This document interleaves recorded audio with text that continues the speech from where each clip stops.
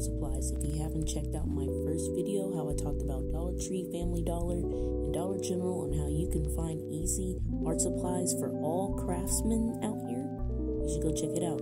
But today, we're going to start on a part two. 1. Thrift and craft stores. I recommend going to small craft and thrift stores because usually it's more of a comfy feeling. Whereas if I were to go to a big corporation, I usually feel like this. Give me your money.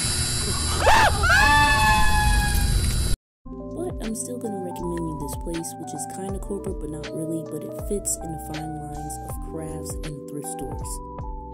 It's called Pop Shelf, and honestly, it just reminds me of another Five and Below, except this one's better. This company has over 21 locations, this place doesn't just sell crafts, it sells a whole variety of items, I promise you.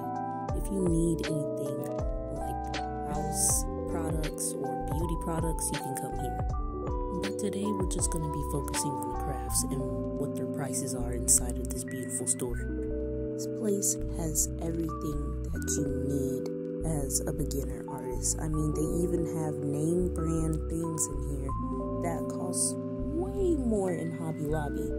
As you can see, they got the cute little canvases for only a dollar. A dollar. And yes, they do have the same brand canvases as Dollar General, but at least it's around the same price or even a little cheaper. They have the different paints from the watercolors to the acrylics to the soft pastels as well too, including the different paintbrushes they have in a variety for everyone. They even have these type of paints, these acrylic paints. I never The one that got me the most was this satin one, and I'm definitely going to get it the next time I'm going back.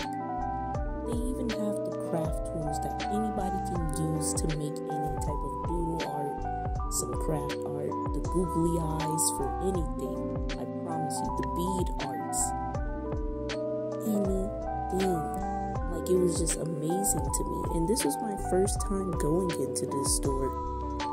And I just Googled this. I swear to you. Everything that you need is in here.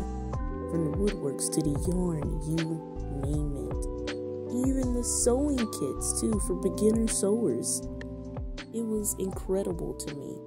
All the way down to even the journals for people who just want to write and do poetry. It was phenomenal. Number two, name brand craft stores.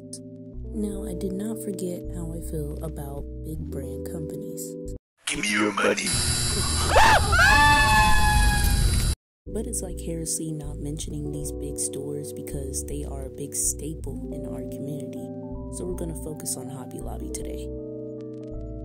We're focusing on Hobby Lobby because all the other stores basically do the same thing.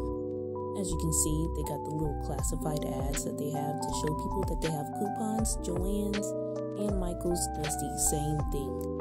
I usually get most of my canvases from Hobby Lobby and I get bulk canvases. Like, look at this five to six in a pack for $12.99.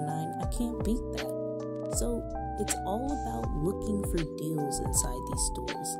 You never know, these big canvases might end up being $17.99 or even $10 just because someone punctured a hole into it.